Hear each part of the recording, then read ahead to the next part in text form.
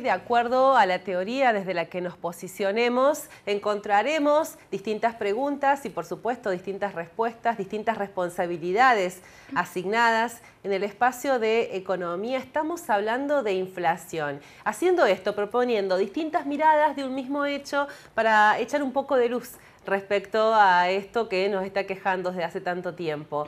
Hoy vamos a hablar de la teoría estructuralista, para ello estamos con la licenciada Ana Clara Donadoni, bienvenida. Bueno, muchas gracias por invitarnos. Estamos haciendo eso, ¿no? Mirando la teoría desde, distintos, lugares. Así es.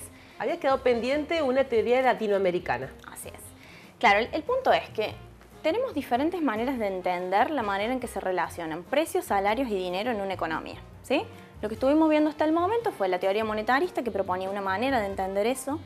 La semana pasada trabajamos inflación de costos, que si ustedes recuerdan hace como más hincapié en el rol que tienen los salarios a la hora de determinar el nivel de precios. La monetarista hacía más hincapié en el rol que tenía el dinero. Y ahora tenemos otra teoría que se sale como ese esquema para tratar de entender qué pasa en las economías latinoamericanas a partir de la crisis de, de la guerra de Corea en el 50, en 1950. A partir de esa época, los analistas estos latinoamericanos intentan dar una explicación de la inflación en Latinoamérica. Y lo que ellos dicen es que en realidad el problema de la inflación hay que mirarlo en la estructura que tienen las economías latinoamericanas. Que no es lo mismo la inflación que se va a producir en los países desarrollados que la inflación que se va a producir en los países en vías de desarrollo, que sería el caso de los países latinoamericanos. Entonces, en ese sentido, lo que ellos dicen es, los problemas monetarios, que era lo que trabajaba la primera teoría, son un elemento de propagación de la inflación, pero no es lo que verdaderamente lo causa.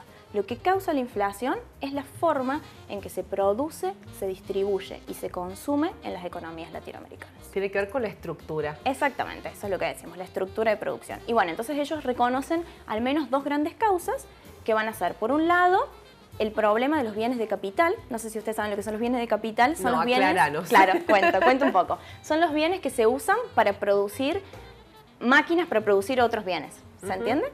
Entonces, cuando en países que no tienen mucho desarrollo, la producción de esos bienes de capital no es muy grande y esos bienes se importan, ¿no es cierto? Claro. Y los insumos para producir más bienes también en general son importados. Entonces, ¿qué pasa si en un país que no tiene muchos bienes de capital, que no tiene ciertos insumos para producir, aumenta la demanda de bienes?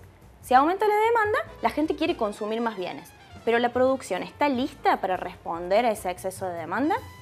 No. ¿Pueden incrementar la producción de manera rápida?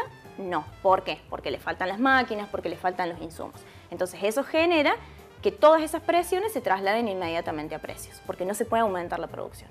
Entonces eso es uno de los grandes problemas, que son como los grandes cuellos de botella que dice la literatura, que pasan en las economías latinoamericanas. Y otro problema es el del sector agrario, que es que la oferta, la producción de bienes agrícolas es muy limitada, porque, o sea, se puede producir tanta cantidad, pero no se puede incrementar la producción si uno quisiera en el campo. Uno produce lo que produce, pero no es que puede estar modificando su producción en función de los precios. ¿Y qué pasó a lo largo del tiempo en la economía mundial? Se empezó a demandar mucho más alimento, ¿no es cierto? Con el crecimiento de las economías como China, ciertas economías emergentes que empezaron a crecer mucho, empiezan a querer muchos alimentos.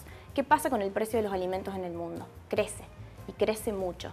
Entonces, en países como Argentina, que exportan alimentos, eh, la producción de alimentos tiene que competir. O la vendemos adentro o la vendemos afuera. Y si la vendemos afuera, cobramos un precio más alto por eso. Entonces, el precio de adentro va a reflejar esas diferencias.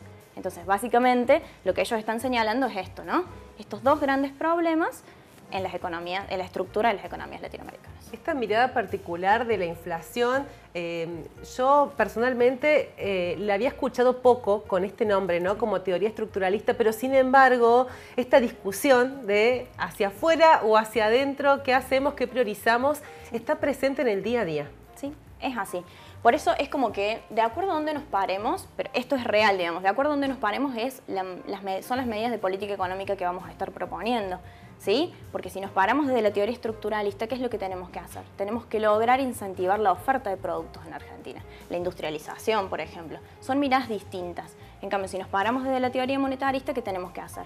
Tenemos que achicar el gasto, tenemos que achicar la cantidad de dinero en la economía. ¿Se entiende? Son cosas distintas. Y por ahí estos autores latinoamericanos lo que dicen es que en países de renta baja, como en el caso de Argentina, eh, no es tan malo que exista un poquito de inflación porque el costo de la inflación es más chico que el costo social que uno tiene que pagar por hacer ajustes en la economía. Entonces, esa es la visión que ellos tienen. es una verdadera reflexión la que nos acabas de dejar. Eh, yo les propongo que nos quedemos reflexionando sobre este aporte, este punto de vista de la teoría estructuralista. Te agradecemos, Ana Clara. No, gracias ¿eh? a ustedes por invitarme. No, gracias.